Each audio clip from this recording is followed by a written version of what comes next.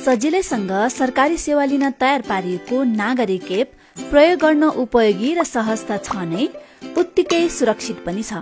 एपमा अकाउन्ट बनाउन आफ्नो नाममा दर्ता भएको मोबाइल नम्बर अनिवार्य गरिएको छ। नागरिक एपमा सुरक्षाका लागि टु फ्याक्टर अथेन्टिकेशन राखिएको छ। यसको अर्थ अरू कसैले तपाईँको मोबाइल नम्बर र पासवर्ड थाहा पाए नागरिक एपमा तपाईँको अकाउन्ट खोलेर हेर्न सक्दैनन्। यसका लागि तपाईँको मोबाइलमा एक पटक प्रयोग गर्न मिल्ने गरी ओटिपी कोड आउँछ। त्यसलाई राख्न जरुरी हुन्छ।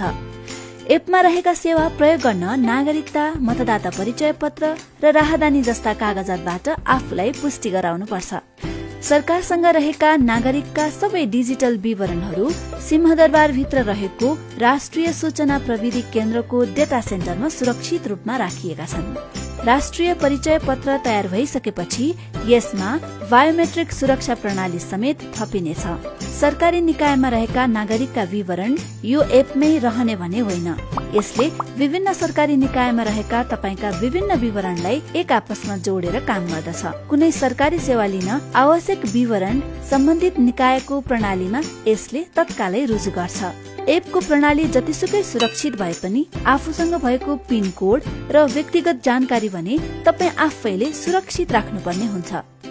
दुरुपयोग हुन सक्ने भएकाले सकेसम्म आफ्नो नाममा रहेको सिम कार्ड नागरिकता राहदानी मतदाता परिचय पत्र जस्ता व्यक्तिगत विवरण अरूलाई नदिनुहोस्। आफ्नो मोबाइलमा आएको ओटिपी कोड पनि अरूलाई नभन्नुहोस्।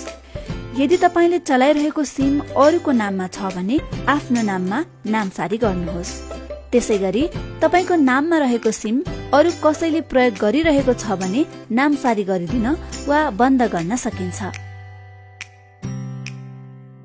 नेपाल सरकार सञ्चार तथा सूचना प्रविधि मन्त्रालय।